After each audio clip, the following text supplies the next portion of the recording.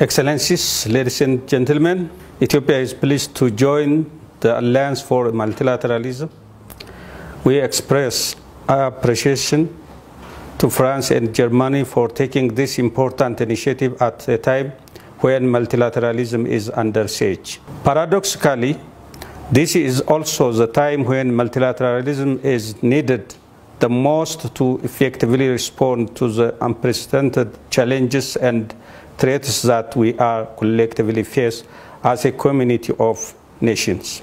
That is why we believe this alliance is so critical to contribute to healing broken trust in multilateral institutions and building a more effective and inclusive multilateral system. I wish to take this opportunity to reaffirm our commitment to play a meaningful and active role to help ensure the United Nations become more effective and secure greater legitimacy. Ethiopia is indeed proud to be one of the founding members of the United Nations. Although it could not count much in its hour of need on the support of the League of Nations, Ethiopia never lost confidence in multilateralism and remained staunch supporter of the principle of collective security embedded in the UN Charter.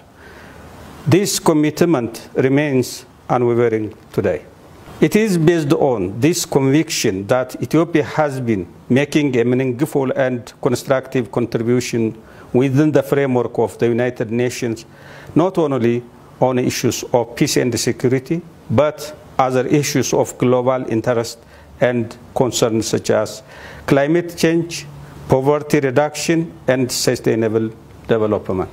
Excellencies, it has never been more evident than today that the peace and prosperity of the entire peoples of the world is closely intertwined. It is only by addressing issues of common interest and concern collectively through the multilateral approach that we can make tangible progress towards achieving the ambitious transformational agendas that we have set for ourselves. The concern at the moment is that we are not only lagging behind in fulfilling the promises made five years ago within the framework of SDGs and the Paris Climate Accord, but we are, in fact, off track.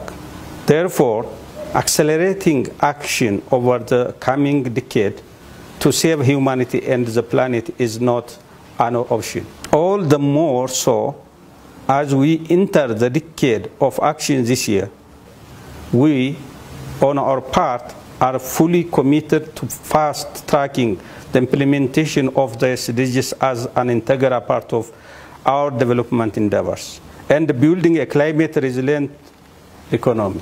Excellencies, ladies and gentlemen, the United Nations is undoubtedly the most indispensable universal organization. While the UN's track record is not unblemished, as the Independent Commission on Multilateralism rights put it, even it is harshest, critics would have to admit that without it, the world would be a more dangerous place. The convening power of the United Nations is in mobilizing global action will be extremely vital as we strive to recover and rebuild better in the post-COVID period. This said, the need to revitalize the organization has never been more urgent and critical. That is why we should seize this historic opportunity to push for reform of the organization so that it could deliver better for we the people. But we should also be mindful that the United Nations can only be more effective and stronger as much as its member states want it to be. As Emperor Haile Selassie, who addressed the United Nations General Assembly in October 1963, said, and I quote, the Charter of the United Nations expresses the noblest aspiration of man But these too, as were the phrases of the Covenant of the League of Nations, are only words.